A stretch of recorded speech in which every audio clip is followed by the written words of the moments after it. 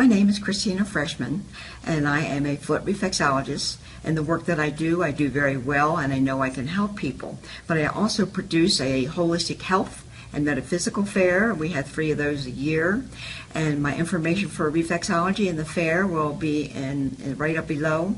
But what I'm really here for is to share how Ameriplan has saved me a lot of money. And the first thing, first way was the glasses I'm currently wearing. I saved about $105 on those glasses, and I did not expect that much, and that really made me very happy.